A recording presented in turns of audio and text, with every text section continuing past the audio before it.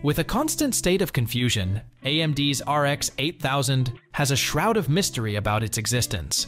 Some say it's on the way and about to take over, while there are sources that strongly suggest the card is cancelled, and we should be looking forward to the RX 9000 instead. With such an unstable environment, what should we expect from AMD at this point? What should Nvidia do as a precaution, considering they haven't been the hot cake they were at one point? And where does this situation put us, the users? Let's sort it out.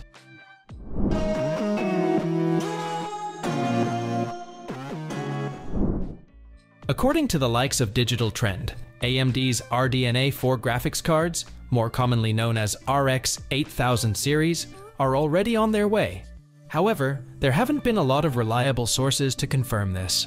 While AMD still prefers to be tight-lipped about their next-gen GPUs, there have been more than a bunch of leakers that tried to break up that silence, with plenty of rumors and lore-accurate speculations.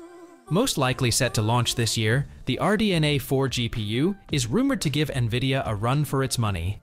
However, with the RTX 50 series cards still yet to see the light of day, it's difficult to put a confirmed finger on who'll be the winner. Considering their track record, Nvidia is in a bit of a rough spot, especially after their RTX 40 series GPUs weren't exactly favorable with the community. Now, if the RX 8000 is indeed on the horizon, what kind of specs can we expect? Everything we know so far about the specs of RDNA 4 comes from various leaks that unfortunately overlap among various sources, so it's pretty difficult to have a solid idea. Among these leaks, most of the information is courtesy of Tom from Moore's Law, is dead on YouTube, who predicted that AMD will only release RDNA 4 in two configurations, Navi 48 and Navi 44.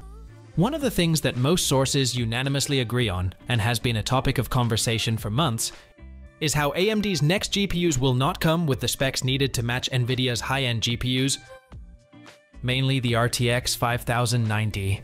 As always, AMD is aiming for the mid-range sector, which is further proven by the rumored specs for both chips. For an in-depth detail of what you can expect from the NVIDIA RTX 50 series, click on the video above. According to Digital Trends, the Navi 48 will be found in an RX 8800 XT GPU and will be the flagship for this generation. They also estimate that this GPU has a 256-bit interface with GDDR6 memory clocked in at 20GB per second. There's also speculation that Moore's Law is dead, which pins this GPU to have a 256-bit interface and GDDR6 memory clocked at 20GB per second, while the Navi 44 is rumored to come with a 128-bit memory bus with a smaller die. A recent tweet from Kepler L2 and Tom's Hardware indicated that AMD might not only stick to GDDR6 modules, but might also stifle the bandwidth and use 18GB per second modules instead. Case in point, the RX 7800 XT uses 19.5GB per second modules, which would make this a downgrade. However, these are only rumors, so it's okay to be skeptical. However, with the rumors regarding how AMD has cancelled the Radeon RX 8000 GPU lineup, things could get a bit more complicated.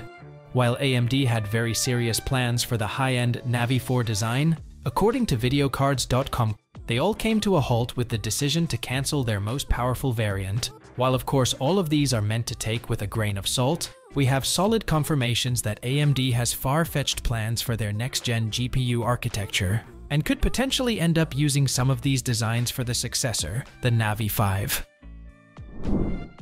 We can't wait to see how the situation unfolds, but while we wait for that, what are your thoughts and opinions on the current state of AMD?